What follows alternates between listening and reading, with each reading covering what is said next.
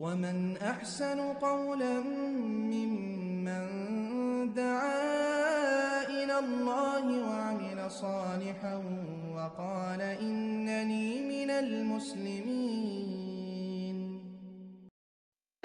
হামদ ও তারিফ শুকুর ও প্রশংসা আল্লাহ রব্বুল আলমের জন্য যার বিশেষ মেহরবানিতে আমরা আজকে জুমার খুদ্বায় উপস্থিত হতে পারছি এই জন্য আল্লাহ রব্বুল আলমের শুকর আদায় করে পড়ি আলহামদুলিল্লাহ অসংখ্য দরুদ ও সালাম বর্ষিত হোক আপনার, আমার নবী বিশ্বনবী শ্রেষ্ঠ নবী জনাবে মোহাম্মদ রসুল্লাহ সাল্লাহ আলহিহাস্লামের ওপর সম্মানিত মুসল্লিয়ানি কিরাম, যারা কোরবানি করার নিয়ত করবেন, তাদের জন্য বর্তমানে করণীয় কি কি?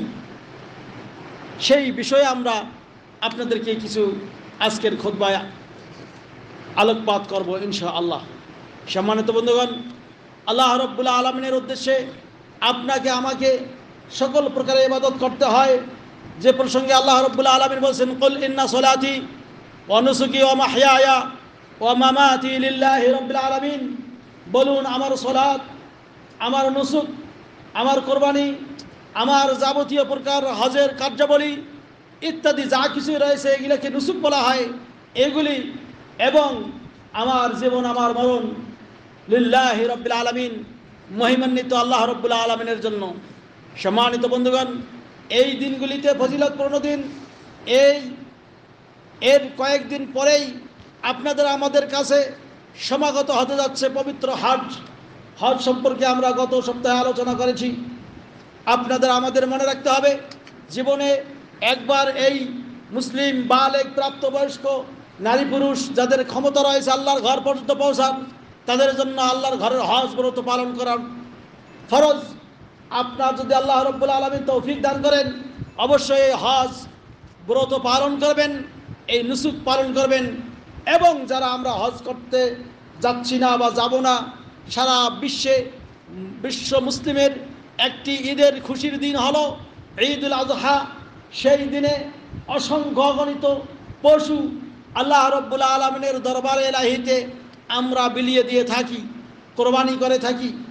তা আমরা আজকে কোরবানি সম্পর্কে পরে আলোচনা করব, তবে আজকে যেটা বলতে চাচ্ছি সেটি হলো যে এই কোরবানি করার যারা নিয়াত করতেছেন, আল্লাহ রব্বুল আলমিনের জন্য যারা স্যাক্রিফাইস করবেন, তাদের জন্য কিছু কাজ কোরবানি আসার দশ দিন আগে থেকেই আপনার এই প্রস্তুতি গ্রহণ করা দরকার।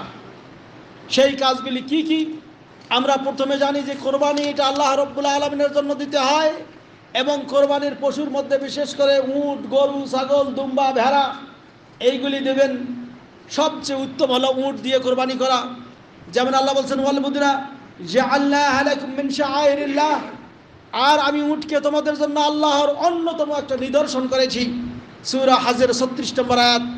এই উট যদি পারেন একা একটা কোরবানি দেবেন, না পারলে অংশগ্রহণ করাও জায়জ রয়েছে সাতজন অথবা দশজন তা আর গরুতে সাতজন এরপরে আপনার ছাগলে একাই করতে হয় বা দুম্বা ভেড়ায় একাই কোরবানি করতে হয় সম্মানিত বন্ধুগণ তা যারা কোরবানি করার নিয়াত করতেছেন তাদের জন্য আল্লাহ নবী সাল্লাম একটা মেসেজ দিয়েছেন যেমন উম্ময় সালামা রদি আল্লাহ আনহা বলেন قال النبي صلى الله عليه وسلم নবী করিম সাল্লাম বলতেছেন, ইজা দাখালাতিল আশর, যখন জিল জিলহজ মাসের দশ তারিখ সূচনা হবে ও আরাদা আহাদুকুম আইয়ুদাহিয়া আর তোমাদের কেউ যদি কোরবানি করার নিয়াত করে ফালইউমসিক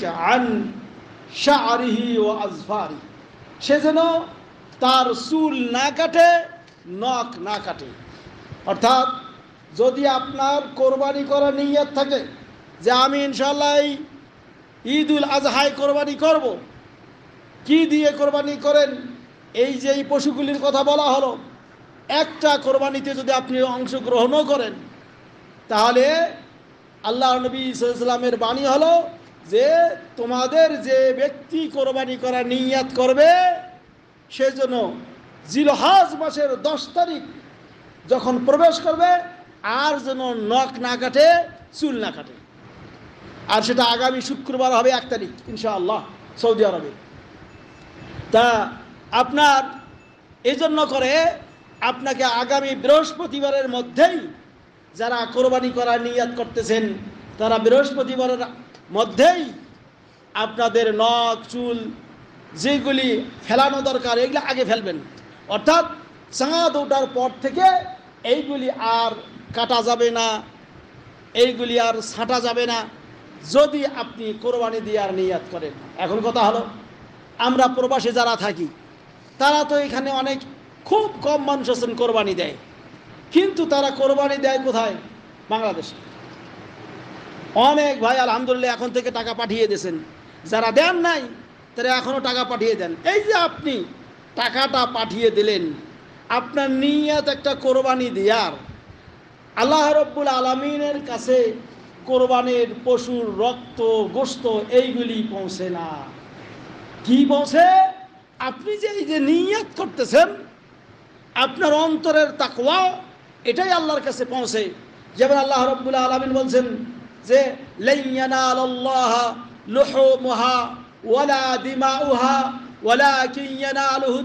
মিনকুম। আল্লাহ রব্বুল আলমিনের কাছে কখনোই তোমাদের কোরবানির পশুর রক্ত এবং গোস্ত এইগুলি আল্লাহর কাছে যায় না। এগুলি তোমরাই খাও। ইয়ানালুহু তাকওয়া কিন্তু তোমাদের তাকওয়া, তোমাদের আল্লাহ ভীতি, কতটুকু তুমি আল্লাহকে ভয় করে কোরবানি দিচ্ছ, এটাই পৌঁছে যায়। তো এটাই হলো নিয়াত। তা আপনি যদি নিয়াত করে থাকেন যে ইনশাআল্লাহ এই বছর একটা কোরবানি দেব, তাহলে ইনশাআল্লাহ এখন থেকে যখন এই যে দশ তারিখ হবে, তখন থেকে এইগুলি আর কাটা যাবে না। এইগুলি নিষেধ। এহরাম অবস্থায় যেমন নিষেধ ওই রকম আপনি বাড়িতে থাকা অবস্থায় আপনি এই সমস্ত দিনে, বিশেষ করে জিল হজ মাসের এক তারিখ থেকে এইগুলি কাটতে পারবেন না। কতক্ষণ পর্যন্ত?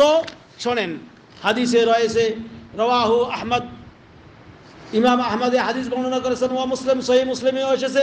অফি রেওয়ায়াতেন অফি লফজেন আখর। অন্য একটা শব্দ এসেছে যে, ফেলা ইয়ামুসা মিন শাহরিহি ওয়ালা বাসারিহি সেই আ হাত্তা ইউদাহিয়া। এমনকি সে যেন তার চুল এবং চামড়া, অর্থাৎ শরীরের চামড়াও যেন না কাটে, চামড়া এগুলোও যেন না উঠায়। কথা বুঝলেন? কোন ব্যক্তি যে ব্যক্তি কোরবানি দেওয়ার নিয়াত করবেন, হাত্তা ইউজাহিয়া যতক্ষণ পর্যন্ত সে কোরবানি করবে না। তবে এই যে, এই হুকুম যারা হজ করতে যাবে না, যারা হজ করতে যাবে না তাদের জন্য, কিন্তু যারা মনে করেন হজ করতে যাবে, তামাত্ম হজ করবে, তারা কিন্তু উমরা শেষ করে মাথা চুল খাটো করবে। তারা করতে পারবে। কিন্তু যারা হজ করতে যাচ্ছি না, তারা কিন্তু এই জিনিসটি অবশ্যই মনে রাখতে হবে সম্মানিত বন্ধুগণ কাজেই আসুন আপনি এই দিনগুলি আসার আগেই এইগুলি পরিষ্কার পরিচ্ছন্ন হবেন এখন কয়েকটি মাস আলা আরও এ সংক্রান্ত রয়েছে আমরা দ্বিতীয় খোদ্ায় আলোচনা করবো ইনশাআল্লাহ بارك الله لي ولكم في القرآن العظيم ونفعني وإياكم بالآيات والذكر الحكيم إنه تعالى جواد كريم ملك بر رؤوف رحيم فاستغفروه إنه هو الغفور الرحيم. إن الحمد لله إن الحمد لله نحمده ونستعينه ونستهديه ونعوذ بالله من شرور أنفسنا ومن سيئات أعمالنا. من يهده الله فلا مضل له ومن يضلل فلا هادي له وأشهد أن لا إله إلا الله وحده لا شريك له وأشهد أن محمدا عبده ورسوله. أما بعد فقد قال الله تعالى في كلامه المجيد ফসল্লে লে রব্বে কেমন হার তোমার রবের জন্য তুমি সলাত আদায় করো, নামাজ পড়ো এবং অনহার কোরবানি করো। কোরবানি করার নির্দেশ আল্লাহ রব্বুল্লা আলমের পক্ষ থেকে এসেছে এবং এটা একটা মানে অত্যন্ত গুরুত্বপূর্ণ একটা সন্ন্যতে মোয়াক্কাদা কোনো কোনো মাজাহাবের অনুযায়ী এটা একটা ওয়াজিব। কাজেই আল্লাহ নবী সাল্লাম আরও বিভিন্ন হাদিসে বলেছেন যে যে ব্যক্তি ক্ষমতা আছে কোরবানি করার তারপরে কোরবানি করল না, সেজন্য আমাদের ঈদের মাঠেও না আসে। কত বড় কথা। কাজেই আপনাকে আমাকে চেষ্টা করতে হবে একটা কোরবানি দেওয়ার। শোনেন স্যাক্রিফাইস করলেন, কোরবানি দিলেন, ইনশাআল্লাহ আগামী সপ্তাহে বলা হবে। তাই কোরবানিটা হতে হবে আল্লাহকে রাজি, খুশি করার জন্য। সেই নিয়ত যদি করে থাকেন, তাহলে যে মাস আলা প্রথম খোদবায় বললাম যে আপনাকে এই কাজগুলি করা থেকে বিরত থাকতে হবে। চুল, নখ, এইগুলি আপনার কাটা যাবে না, শরীরের চামড়াও উঠানো যাবে না। তবে কোনো ব্যক্তি যদি, কোনো ব্যক্তি যদি মনে করেন হঠাৎ আল্লাহ না করুক অ্যাক্সিডেন্ট হয়ে গেল, তার একটা মাথায় সিলাই দেওয়া প্রয়োজন হলো, চামড়া ছিলতে হইল, চুল ছিলতে হইল, সেটা জায়েজ।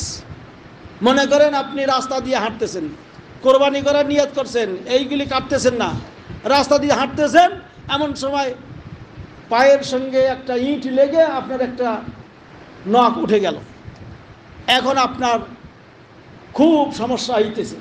তখন ওইটা অতটুকু কাটতে পারবেন কিন্তু ইচ্ছা করে এমন করে কাটা যাবে না। বরং কেউ কেউ বলেছেন এটা হারাম। তবে কোন ব্যক্তির জন্য?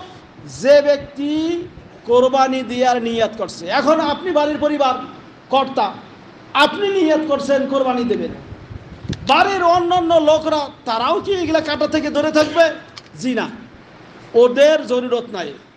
আপনার পরিবারে যদি দশজনও থাকে, আপনি বাড়ির কর্তা হন, আপনি কোরবানি করতেছেন, তাহলে আপনি বিরত থাকবেন, ওরা করার দরকার নেই। আপনার স্ত্রী, সন্তানেরা, ওরা ইচ্ছে করলে কাটতে পারবে। কিন্তু যে কোরবানি করা, আল্লাহ বলেছেন ও আরাদা আহাদুকুম আইয়ুজাহিয়া তোমাদের কেউ যদি কোরবানি করা নিয়ে থাকে। এখন অনেকে প্রশ্ন করেন আচ্ছা আমি তো টাকা পাঠাতে আমার বাবাই কোরবানি দেয়। ভাই, আপনার বাবাও আপনার বাড়ির করতে যদি থাকে, তাহলে আপনার বাবাও ওইগুলা কাটা থেকে ধরে থাকবে। আর আপনি নিয়ত যে আমিও কোরবানি দিতেছি, শরিক হইতেছি, কাজে আপনিও এগুলা থেকে দূরে থাকবেন, কাটা থেকে দূরে থাকবেন। আল্লাহ রব্বুল আলমিন আপনার আমার সঠিক জিনিসটি জানার ও মানার তৌফিক দান করে বলুন আমিন। কিন্তু কোনো কেউ যদি ভুলবশত অথবা অজানা সত্ত্বেও ওইগুলো কাটে, মনে করেন সে জানে না এই মাস আলা কোরবানি দেওয়ার নিয়ত করতেছে, কোরবানি দেবে। কিন্তু এমনি কেটে ফেলতেছে এগুলো। কারণ ও মাস আলা জানে না।